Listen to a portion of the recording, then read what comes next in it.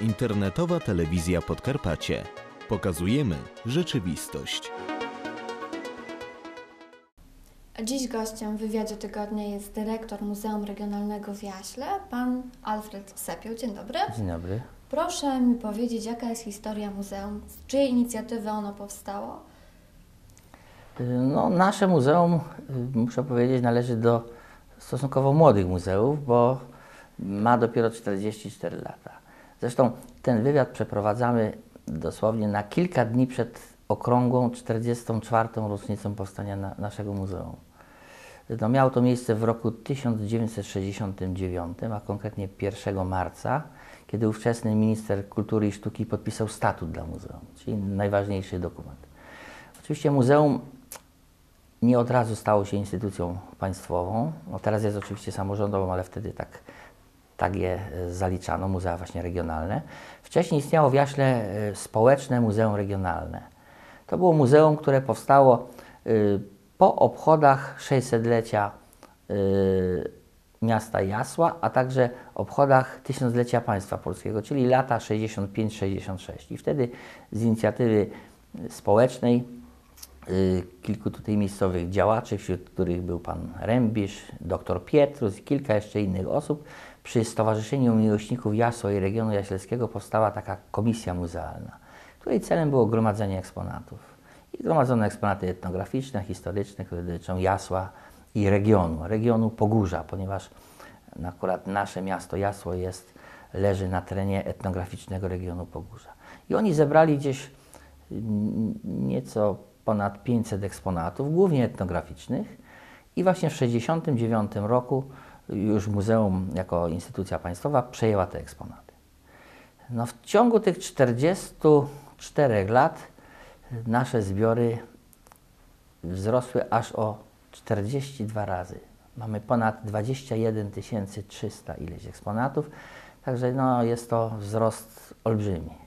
I pod względem ilościowym, wartościowym, no, przybyło wiele cennych dzieł sztuki, zabytków z różnych dziedzin. No i muzeum oczywiście rozrosło się strukturalnie, bo na początku było to muzeum dwudziałowe. Był dział etnograficzny i dział historyczny.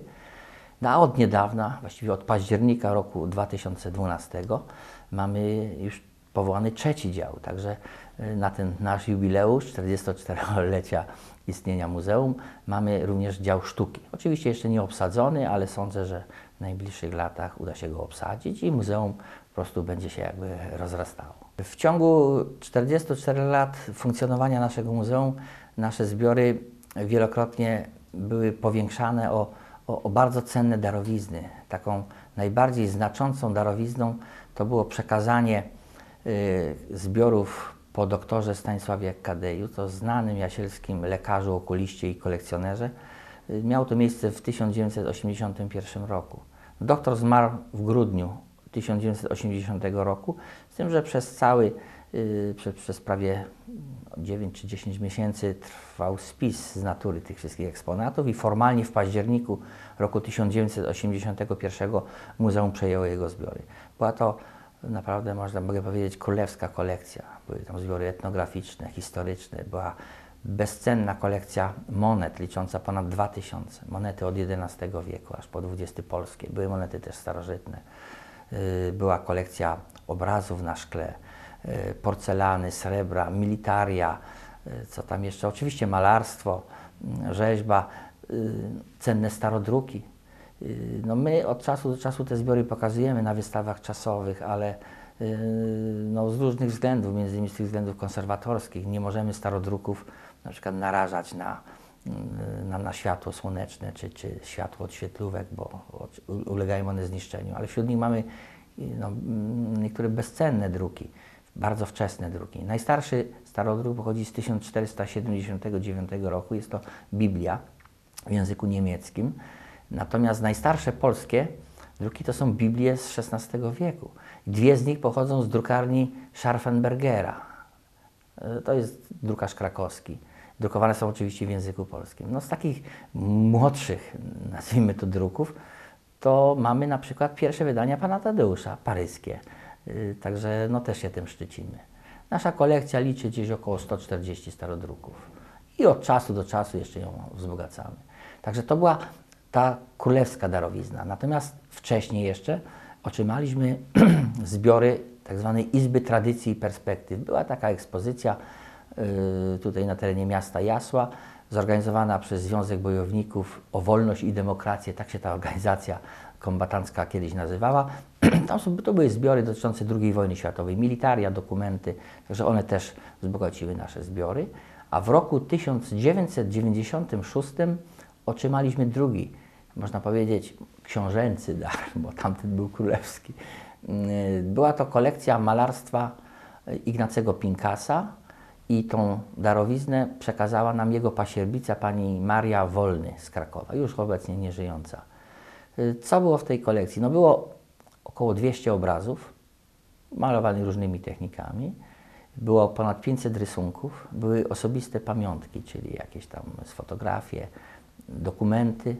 No, wśród tych dokumentów są dwa bezcenne dla nas autografy. Jest to y, list, oryginalny list generała, właściwie marszałka, e, później Rydza Śmigłego, pisany do Ignacego Pinkasa i list marszałka Piłsudskiego. Ponieważ mało kto wie, że Ignacy Pinkas w dziesiątą rocznicę odzyskania Wilna w 28 roku przekazał marszałkowi Piłsudskiemu 10 obrazów z widokami Wilna. Wiadomo, miasta, które marszałek szczególnie kochał. I marszałek kilka miesięcy później mu odpisał. I mamy list z kopertą i jest no, tekst między innymi taki. Tam, szanowny pan artysta, malarz Ignacy Pinkas i marszałek pisze serdecznie dziękuję za piękne obrazy mego ukochanego Wilna, jego autograf. Także tym listem, tym autografem też się szczycimy i jak organizujemy wystawy o tematyce niepodległościowej, wystawy patriotyczne, no to oczywiście ten list zawsze pokazujemy. Muzeum mieści się w domu Kadiego, tak? Tak, y, no jesteśmy tu mm, już dosyć długo, bo w roku 1991 pierwsza ekspozycja została tutaj y, udostępniona zwiedzającym.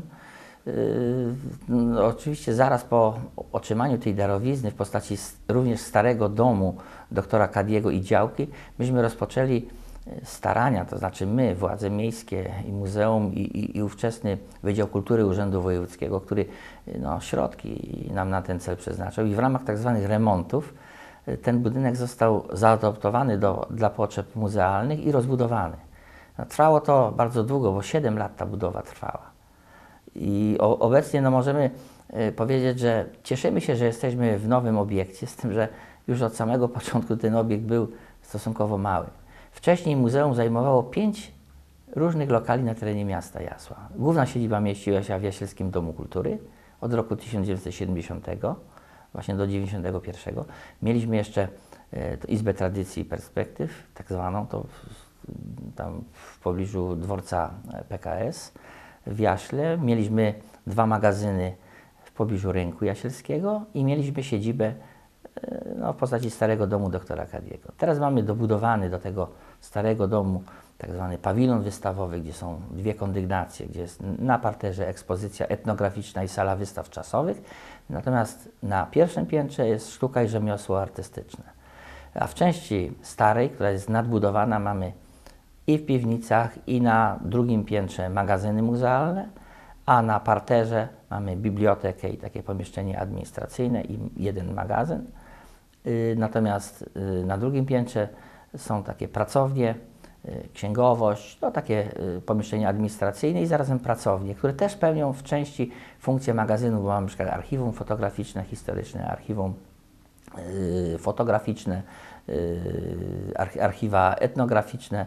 Także no jedno pomieszczenie oczywiście, w którym teraz przebywamy, to jest takie specjalne pomieszczenie. No, chcieliśmy jedno z wnętrz domu doktora Kadiego zachować, po to, aby zachowana została atmosfera jego domu. Wiadomo, że doktor Kady mieszkał e, e, wśród eksponatów, wśród swoich zbiorów. Na każdym kroku były obrazy, były stare meble, były kwiaty, jeszcze biegał kot, piesek, także było tu życie. No. Oczywiście teraz kotka, zwierząt, kwiatów zbyt wielu nie ma, ale stare eksponaty zostały. Także w tym pomieszczeniu, w którym teraz właśnie rozmawiamy, jest piękna sekretera XVIII-wieczna, są meble w stylu Biedermeier, zegary, jest serwantka z bibelotami, ze srebrem, z porcelaną. Także atmosfera domu oczywiście jest zachowana. Są też portrety oczywiście doktora Kadiego, jego żony. Także atmosfera domu trwa, Pozostała. pozostała. Muzeum posiada wiele cennych ekspozycji. Czy obiekt jest w jakiś sposób chroniony, monitorowany? Panią, jest to podstawowy wymóg, aby gromadzić zabytki, eksponaty, dzieła sztuki i udostępniać je zwiedzającym, trzeba ten obiekt w odpowiedni sposób zabezpieczyć. To jest pierwsza rzecz. Najpierw trzeba zabezpieczyć, a później organizować wystawy. Oczywiście nasze muzeum posiada e, taki monitorowany e, system antywłamaniowy, również posiada system przeciwpożarowy. Oprócz tego jest zabezpieczenie konwencjonalne, czyli jeszcze jakby e, po- podwójnie, czyli wszystkie zamki i, i, tak dalej. I oczywiście pracownicy też są po to, żeby czuwać nad tym, aby te cenne zbiory no, były bezpieczne. Oczywiście takim sposobem zabezpieczania to jest również konserwacja muzealiów. Jest to bardzo ważna dziedzina, no niestety kosztowna. U nas większość obrazów, yy, to wszystkie obiekty, które są w salach wystawowych, no, w 90 kilku procentach przeszły zabiegi konserwatorskie, czyli został im przywrócony wygląd yy, no, pierwotny. No, nie zawsze się to oczywiście udaje, ale są na tyle zabezpieczone, że mogą być eksponowane i mogą być oglądane i podziwiane. To dotyczy oczywiście malarstwa, rzeźby y, czy innych jeszcze obiektów rzemiosła artystycznego. Także no, y, muzea w części pełnią funkcję takich lekarzy y, zabytkowych eksponatów. I robimy to oczywiście na tyle, ile możemy, ponieważ nie mamy własnej pracowni konserwatorskiej, te zabiegi specjalistyczne zlecamy fachowcom. I corocznie kilka czy kilkanaście, no kiedyś mm, większe ilości mm, eksponatów, na przykład obrazów, żeśmy poddawali konserwacji, oczyszczeniu, oprawialiśmy je. Także to jest oczywiście e, nasza powinność, my to musimy po prostu robić i staramy się no, wywiązywać z tego obowiązku. Jakie do tej pory były organizowane wystawy, które najbardziej pozostały w pamięci mieszkańców, no i Pana? Yy, Proszę Panią, każda wystawa, czy każdy wernisaż wystawy to dla nas muzealników to jest swego rodzaju święto. My wtedy prezentujemy jakby efekt naszej pracy, pewnych przygotowań. Oczywiście stosując się do wymogów statutu muzeum, yy, staramy się w ciągu roku prezentować kilka, średnio robimy od 6 nawet do 10 wystaw czasowych, z tym, że niektóre są dłużej trwają, niektóre tylko do miesiąca, ale wystaw różnorodnych. Także organizujemy wystawy o tematyce historycznej, z zakresu sztuki, etnograficznej. Robimy też wystawy przyrodnicze, bo były na przykład wystawy o tematyce myśliwskiej, czy jakieś tam jeszcze inne. Ale no, chcemy po prostu trafić do y, ludzi, którzy mają różne zainteresowania. Oczywiście wystawy historyczne i etnograficzne dominują, ponieważ taki jest profil naszego muzeum i głównie żeśmy powinni wystawy o takiej tematyce prezentować. Yy, No, wystawy rocznicowe, czyli wystawy, które yy, są organizowane z okazji jakichś rocznic historycznych czy pewnych wydarzeń, to są wystawy oczywiście bardzo ważne, które yy, no, są chętnie oglądane. Ja tak może za bardzo do tyłu nie będę się cofał, ale sięgnę pamięcią do ostatnich lat. Na przykład rok 2010, wystawa katyńska. Wystawa, y, na której chcieliśmy pokazać pamiątki i przypomnieć osoby, które pochodziły z Jasła i terenu powiatu jaśliowskiego, które mm, no, spoczywają w, w Katyniu, w Charkowie, w Miednoje. I dotychczas znane było 80 kilka nazwisk, ale dzięki naszemu koledze, historykowi, panu Mariuszowi Świątkowi, udało się znaleźć, oczywiście w cudzysłowie, odszukać, zweryfikować pewne dane i obecnie znamy ponad 100 nazwisk. I na naszej wystawie zgromadziliśmy pamiątki o tych osobach, listy, oznaczenia wojskowe od osób, jaślan, którzy mieszkają w Warszawie, we Wrocławiu i w innych zakątkach kraju. Także zostało przygotowane też specjalne no, biografie tych osób. Myśmy liczyli na to, że może uda się wydać to drukiem. No niestety nas na to nie stać. Jakoś yy, po prostu no, to czeka. Mi się wydaje, że trzeba te osoby przypomnieć.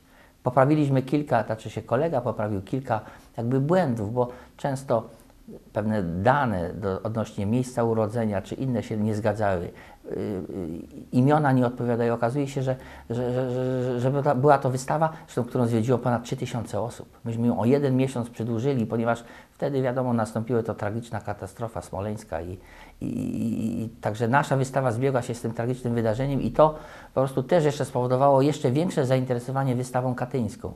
Także ponad 3000 osób było na naszej wystawie i to był rekord, muszę powiedzieć, rekord w ciągu całej historii naszego muzeum.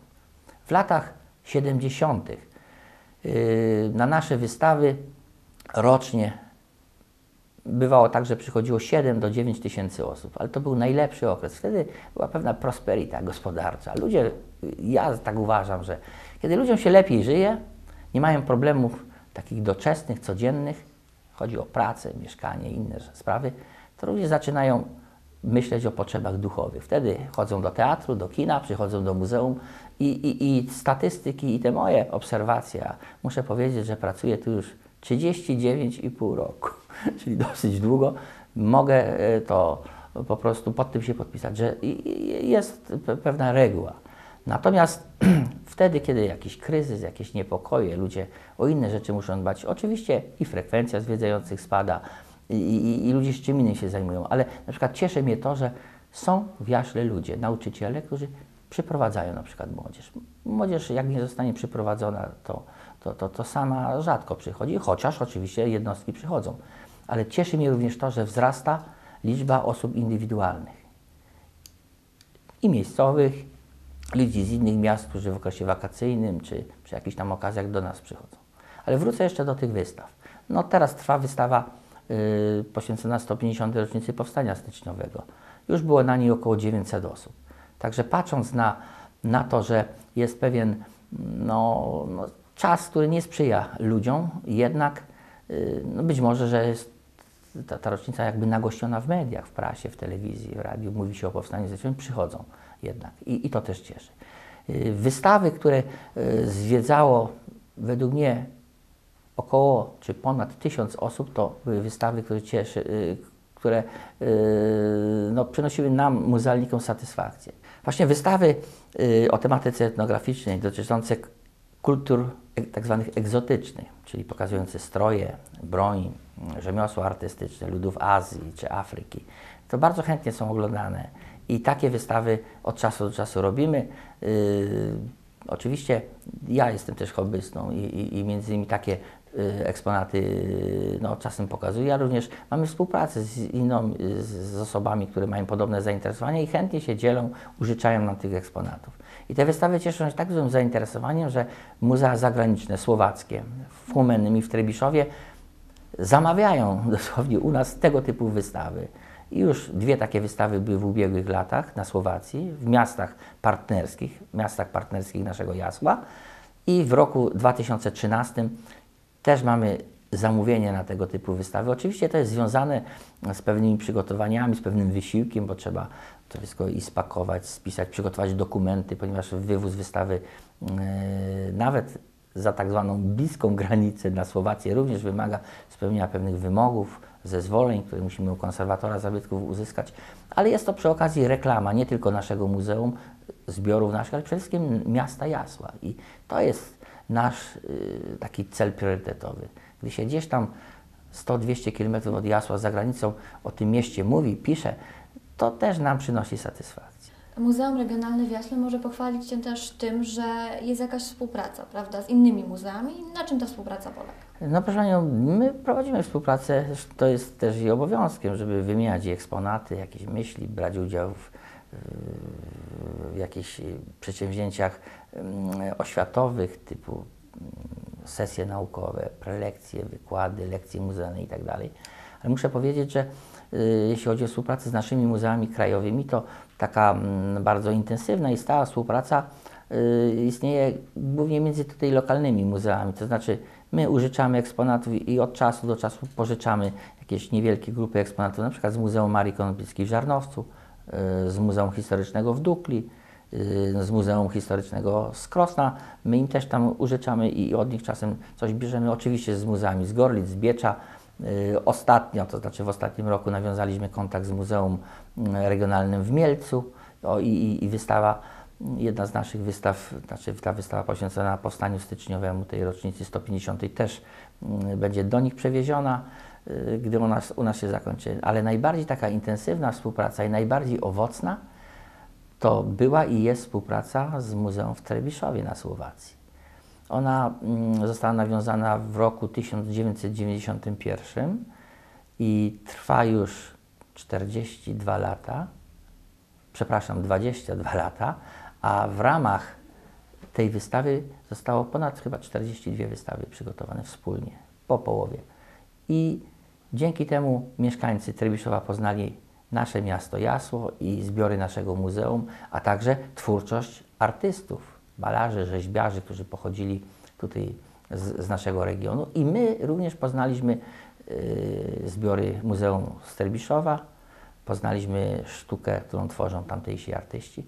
A w roku ubiegłym była na przykład u nas wystawa poświęcona winom tokajskim, ponieważ Trebiszów jest miastem położonym w tak zwanym północnym Zemplinie, czyli regionie, gdzie uprawia się winorość i wyrabia się słynne wina tokajskie, które kiedyś w przeszłości były masowo importowane do Polski z tak zwanych górnych Węgier.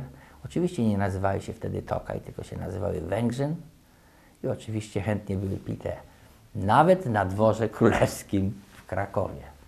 A w miastach tutaj na południu Polski były słynne składy, innymi w Bieczu, w Jaśliskach, w Krośnie, w Nowym Sączu.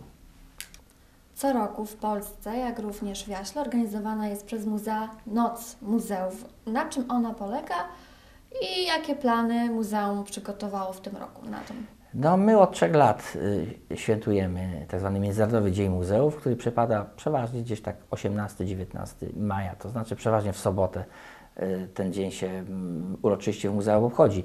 Oczywiście w tym dniu zawsze jest y, przeważnie u nas wernisaż nowej wystawy, wieczorem jest koncert muzyczny i był na przykład koncert muzyki orientalnej, był koncert muzyki jazzowej w wykonaniu artystów tu miejscowych, y, a oprócz tego w tym dniu y, my w szczególny sposób chcemy podziękować osobom, z którymi współpracujemy. I tak na przykład w roku ubiegłym 12 osób, darczyńców, którzy przekazali nam w ostatnim czasie cenne eksponaty do naszych zbiorów, zostało wyróżnionych y, takimi honorowymi dyplomami muzeum.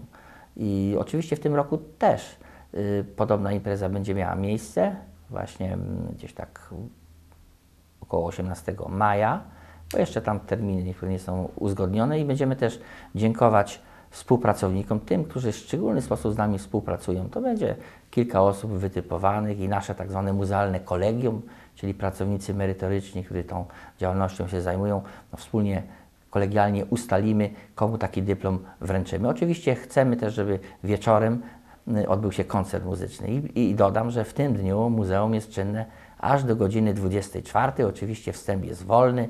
My jesteśmy otwarci na wszelkie propozycje, pytania. Pokazujemy muzeum od podszewki, także już teraz serdecznie wszystkich zapraszam. Oczywiście wszystkie te informacje znajdą się na plakatach, tak gdzieś około połowy maja. Czego więc mogę życzyć Panu i pracownikom muzeum?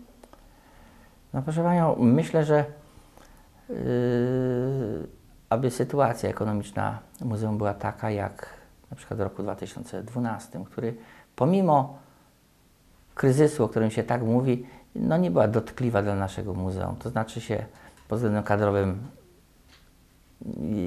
jesteśmy na tym samym poziomie, a oprócz tego, że otrzymaliśmy środki na działalność bieżącą i no, funkcjonowanie tej instytucji, czyli działalność również merytoryczną na poziomie e, taki jak kilku poprzednich lat, dostaliśmy jeszcze duży zastrzyk pieniędzy na tak zwane remonty. I dzięki temu zostało wiele ważnych prac e, wykonanych, między innymi taki remont instalacji przeciwpożarowej, bardzo ważny, izolacja fundamentów w części pawilonu wystawowego, Y, wyłożenie płytkami y, wokół budynku takich chodników, następnie wykonanie napisu na budynku muzeum i malowanie klatki schodowej i kilku jeszcze innych pomieszczeń. Także estetyka wewnętrzna budynku została podniesiona. Oczywiście wpływa to na no, podniesienie estetyki, na, na, na, na no, sprawia przyjemność chyba również tym, którzy tutaj przychodzą. Oczywiście